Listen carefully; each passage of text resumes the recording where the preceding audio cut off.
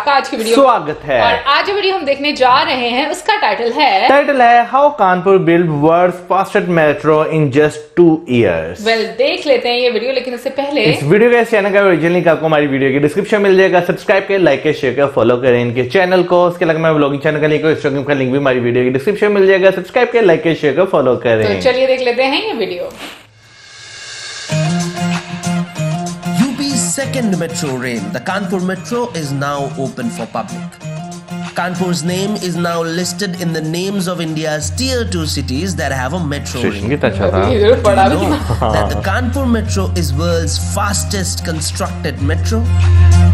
18,576 hours, 774 days or just 25 months. That is how long Kanpur took to build its metro rail. Fastest not in India but in the world. Beating mm. Delhi, beating Mumbai, and beating big cities of Europe, model. America, and heavyweight China. Metro rail is not a wall or a pipeline that your municipality lays along the road. Imagine such a railway project with massive structures, massive stations, and fast trains constructed in just two years. Well, yes, it's possible. There are four main techniques that were adopted by Kanpur Metro to complete the project so rapidly. In the end, we will give a bonus point as well. Come, let's see how Kanpur Metro was constructed so rapidly. Uniform standards. The Kanpur Metro has uniform standards for all its superstructures. This means almost every pier, almost every girder, almost every station is identical to each other. They have the same structural design, so looks more or less are the same. This helped to speed up the construction because employees work on a given guideline without wasting time on unnecessary changes in designs. They just repeat constructing whatever they had made so far. Various structures of Kanpur Metro were smartly prepared in manufacturing units and then assembled on site.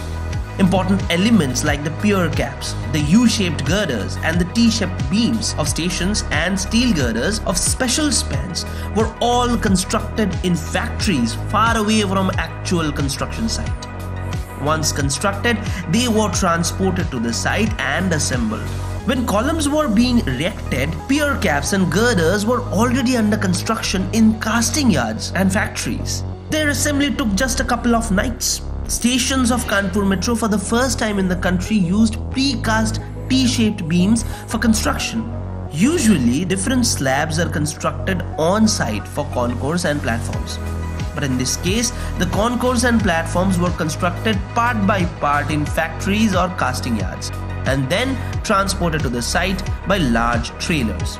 Once the columns were ready to take up the load, the beams were erected and assembled together to form the entire slab in no time.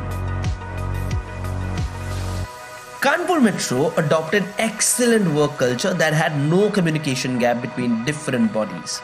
The contractor companies that were engaged in construction of the project were directly linked to the senior officers of Kanpur Metro. If something went wrong, be it financial, technical, or material crisis, contractors directly contacted the senior officers of Metro Rail who immediately solved their issues. They got a corporate culture where decisions were mostly made verbally rather than documenting files and papers to delay the project. Mm. Soon after the work on Kanpur Metro started, the world moved into one of the deadliest pandemics of all time the COVID 19 pandemic stalled every construction work in the country. But Uttar Pradesh Metro Rail Corporation took it as an opportunity and utilized the empty roads during the lockdown. Kanpur's congested areas were clean and smooth during the lockdown. Metros take longer time to be constructed in congested areas. So the authorities utilized the empty roads to erect the piers and the RCC structures during the lockdown. But during lockdown, a labor crisis was predicted. So authorities made labor camps, canteens and shelter facilities to retain them at the location. In fact, when the project was mandatorily halted for almost 5 months, Kanpur Metro arranged transport facilities for its workers.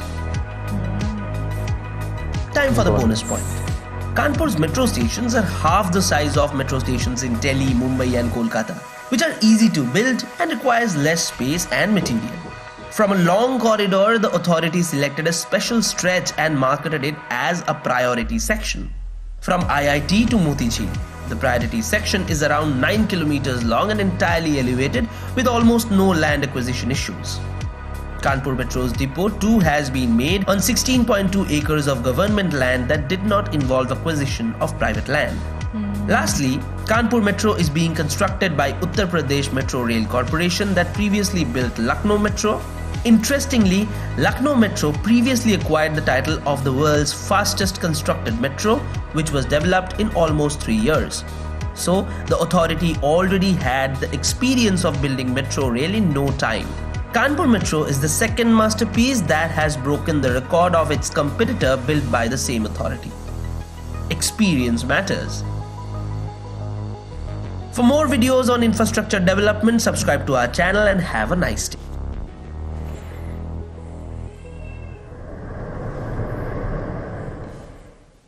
सबसे पहले तो हम दोनों की जैसे कानपुर के लोगों को जो है वो मुबारक हो। क्योंकि मेट्रो रेल जो है वो आजकल के अगर शहरों की बात करें तो उनकी एक बहुत मेजर ज़रूरत बन चुकी हुई है और बहुत ज़्यादा फ़ायदे भी हैं और इसके फ़ायदे तो हम लोगों को बाद में पता चले ना जब हम लोगों ने भी इसको इसका आनंद लिया। अच्छा स्टार्टिंग में जब ये बनी थी ना मेट्रो हाँ। लोग कहते थे ज़रूरत तो नहीं थी एम ही इन्होंने बना दी है लेकिन अब लोग उस पर सफ़र करते ना लोग कहते बहुत अच्छी सर्विस देखो है। मेरी एक बात सुनो वो एक ना अलग मुद्दा है। हाँ। मैं ये बात बोलती हूँ ज़रूरत देखो हर जगह पर होती है बट डिपेंड करता है कि आपका कंट्री का हम्म। एक हालात किस तरह के। ज़रूरत के लिहाज से कराची में सबसे पहले ज़रूरत थी कराची में भी स्टार्ट हो चुकी है वैसे। जब बनेगी ना तब मुझे ज़्यादा खुशी नहीं, होगी। हो चुकी हुई है। हो चुकी है ना लेकिन फिर भी ये पहले कराची में हाँ। चाहिए थी फिर बाद में लाहौर वै- वैसे नो डाउट हाँ। अगर बात की जाए ना मेट्रो ट्रेन की बात की जाए या ऑरेंज लाइन की वो सॉरी मेट्रो बस की बात की जाए तो ये दो ऐसे मेगा प्रोजेक्ट्स हैं जो कि हम्म। पहले बन तो लाहौर में गए लेकिन सबसे ज़्यादा इंफ्रास्ट्रक्चर के लिहाज से इन्हें ज़रूरत थी कराची में वहाँ पर ये हाँ। पहले बनने चाहिए थे लेकिन खैर ये वहाँ की गवर्नमेंट की जो है वो पता नहीं क्या है कि वो अब आकर उन्होंने जो है शुरू किए हैं लेकिन तुम ये देखो कि वहाँ पर जो कम्यूट सिस्टम है वो हाँ। इतना को बुरा है ना कि मैं देखती हूँ तो मुझे हैरानगी हो हैरानगी हो जाती है कि लाइक कराची में इस तरह का इंफ्रास्ट्रक्चर है और जो एक जगह से दूसरी जगह के लोग किस तरीके से ट्रैवल करते हैं। बट एनीवे कानपुर की हम लोग बात करते हैं। मैं कहूँगी कि ये वाकई में बहुत ज़्यादा एक अपने आप में काबिल तारीफ़ बात है क्योंकि मतलब सिर्फ़ 25 महीनों में आप एक इतना बड़ा प्रोजेक्ट जो है वो कंप्लीट कर लेते हैं। और दो उसके बहुत सारे एस्पेक्ट्स भी हैं हम ये कहेंगे कि जिस तरीके से बीच में एक टीम वर्क एक प्रॉपर प्लानिंग एक होमवर्क ये सारी चीज़ें बहुत ज़्यादा मैटर करती हैं। यार अगर मैं मेट्रो ट्रेन की बात करूँ ना क्योंकि मैंने तो भाई अपनी आँखों से बनती हुई देखी क्योंकि मैं बाहर जाता था तो जिस तरह वो रोड उन्होंने पुट पटैया किया हुआ था समझ नहीं थी आती कहाँ से जाएँ क्या करें। लेकिन जो है जब एक बन गई है ना तो वाकई खूबसूरत लगती है लेकिन इसके ऊपर जो यानी कि पिलर्स इसके बने या जो है जो ऊपर लाके पूरी पूरी एक यू शेप की जो है वो स्लैब रखते हैं। वो मैंने खुद जो है यानी कि जो क्रेन्स आती थी उन्हें रखते हुए देखा।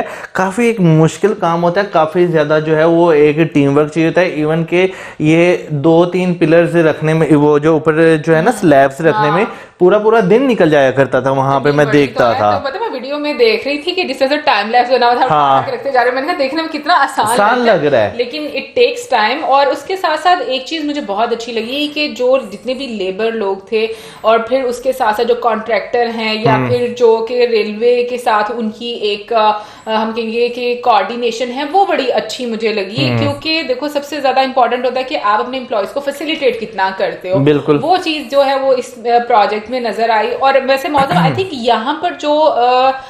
मेट्रो बनी है उसका यूनिट तो मेरे ख्याल में साथ में लगा हुआ था ना? मैं वो जो- यूनिट किस चीज़ का? पता नहीं ग्राउंड में कुछ इस तरह से बहुत बड़ी बड़ी मशीन मैंने देखी थी लगी हुई है। एक अ, जो चुबुर्जी वाली साइड पर एक ग्राउंड है वहाँ पर अगर तुम्हें याद नहीं नहीं वहाँ वो जो है ना सिर्फ़ वहाँ पर दूसरा मटेरियल तैयार होता था यानी जो फिलिंग वाला मटेरियल वो वहाँ पे तैयार होता हाँ, था मतलब लेकिन वहाँ पर बाकी लगा था हाँ बिल्कुल। यानी कि ये जो पिलर्स बनते थे पिलर्स के तो अंदर अंदर जो हैं, हाँ। लगते थे ना यानी कि जो सीमेंट बजरी वगैरह हाँ। वो वहाँ पर मिक्सअप होती थी। लेकिन अगर हाँ कंक्रीट के जो है ये जो ऊपर स्लैब्स हैं। उनकी बात की जाए तो वो बने बनाए ही पूरे पूरे ट्रक्स पर आते थे। क्योंकि मैं ये चीज़ें देखता रहा हूँ वहाँ पर गुजरना होता था तो ये चीज़ें मैं देखता था।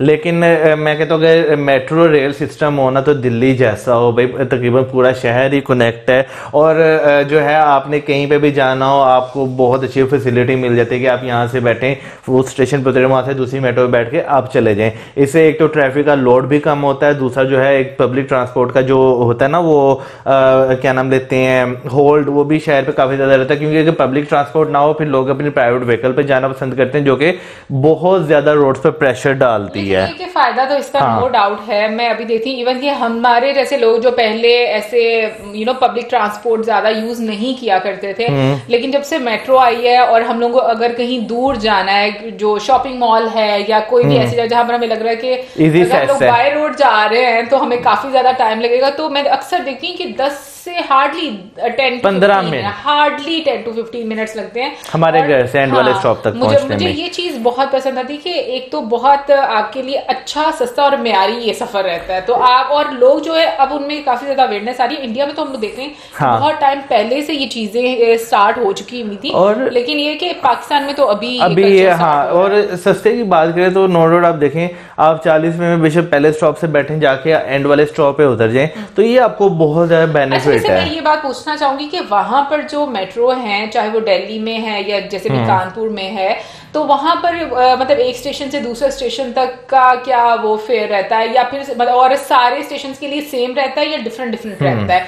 मतलब कि जो डिस्टेंस के अकॉर्डिंग खैर जो कानपुर मेट्रो है ये इसकी जो टोटल लेंथ है वीडियो में भी बताया कि 32 किलोमीटर है इसकी टोटल लेंथ और- और, जो इसका बजट था वो वो यानी कि जिस पे जो लागत आई है यानी कि हम्म। कॉस्ट आई है वो over 11,000 crore Indian rupees Indian rupees में आई है। और इसके अलावा मुझे एक चीज़ बहुत अच्छी लगी कि काम जो है वो जल्दी जल्दी जो करने का एक प्रोसेस होता हम्म। है वो भी अगर देखा जाए तो एक ही काम को जब हम बार बार रिपीट करते हैं ना तो हमारा काम भी काम भी अच्छा होना शुरू होता है और टाइम भी कम लगता है। अगर ही है। ऑब्वियसली डिफरेंट डिफरेंट वो अ, Experience हो जाता है ना? नहीं एक्सपीरियंस भी हो जाता है लेकिन ये देखो अगर एक स्टेशन का जो इंटीरियर वो डिफरेंट है अगले का डिफरेंट है तो डेफिनेटली उसमें टाइम भी लगेगा और बहुत सारी आपको हर्डल्स भी फेस करनी पड़ती हैं जो आपको पता नहीं होती। अभी एक आपने स्टेशन बनाया नेक्स्ट बनाओगे तो आपको पता चलेगा भाई ऐसे ही बनाना है और वही तरीका है। और दूसरा ये कि जो लैंड का इशू है ना वो मुझे इसमें बड़ा कमाल का लगा। बहुत सारी चीज़ें मैंने देखा इस प्रोजेक्ट में ना फेवर में थी तो उसकी वजह से भी ये जो चीज़ें हैं आसानी से हो गई हैं।